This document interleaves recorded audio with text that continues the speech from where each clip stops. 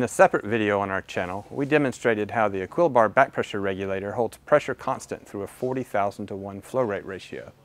However, there are some research applications that need the same performance extended into the nano flow range and even to true zero. Today we are going to demonstrate the Equilibar ZF back pressure regulator holding constant pressure from true zero flow up to 1000 cc's per minute. Right now we have about 4000 cc's per minute or 4 liters per minute passing through the ZF regulator and right now the inlet is about 713 and we're about 7 psi above the gas pilot pressure. What we're going to do is just step that down a decade at a time. So I'm going to adjust the needle valve and try to get it into 3 to 400 uh, cc's per minute range. There we are. And again, we're still 7 psi above the pilot set point and at 713 psi on the inlet. So widely varying flow rate changes. Now I'm going to adjust and try to get it in the uh, 30 to 40 milliliter per minute range. There we are.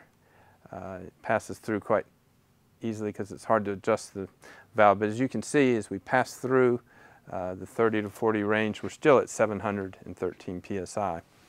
As we switch over to the bubble meter, we're going to measure the flow. As you can see here, um, there's a very slight movement in the bubble and I'm going to go ahead and shut the flow off completely. The reactor is stopped. Um, actually takes a second for uh, the gas to actually slow down through the higher flow range. So now that we've completely valved off the flow, we have a bubble that's completely stopped and we're still holding about 712 psi.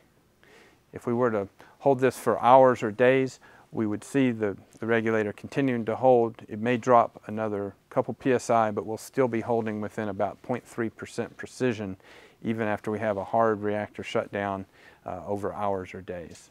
Contact our engineers today to see how Equilibar can address your challenging pressure control application.